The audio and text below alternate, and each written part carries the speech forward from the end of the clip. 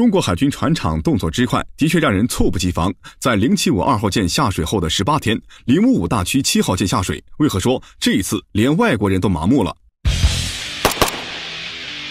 全球新冠肺炎持续肆虐，然而为中国海军建造军舰的船厂丝毫不受到影响。五月九日，零零五七号舰悄然下水，当天几乎没有媒体报道该新闻，直到五月十一日才有社交媒体跟进披露，之后才被广泛报道。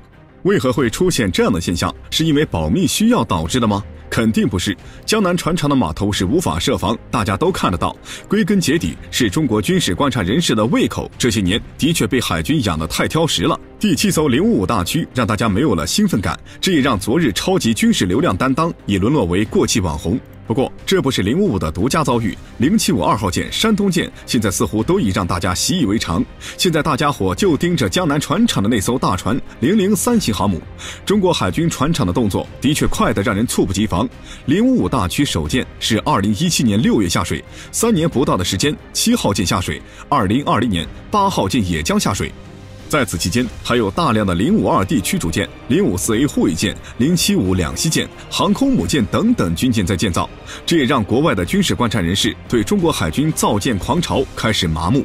零五五万吨大驱七号舰下水消息，不仅国内报道严重滞后，在全球也出现了同样现象。一向对中国海军新舰非常关注的巴西海军网表现很麻木。在以往，中国新建下水服役的消息一经中文媒体报道，他们会立马跟进，一般情况下也就几个小时的时间差。而这次零五五七号舰的消息，巴西海军网站到五月十三日都没有报道该消息。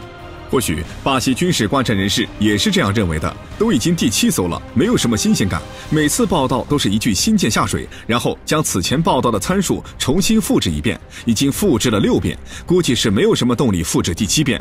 全球军事媒体对零五五七号舰下水的消息态度上基本上都差不了多少，反而是零五五型首舰南昌舰的一则消息更让大家关注。最新报道显示，海军公开了南昌舰在海上补给的视频画面。二零二零年一月正式入列北海舰队的南昌舰正在形成战斗力。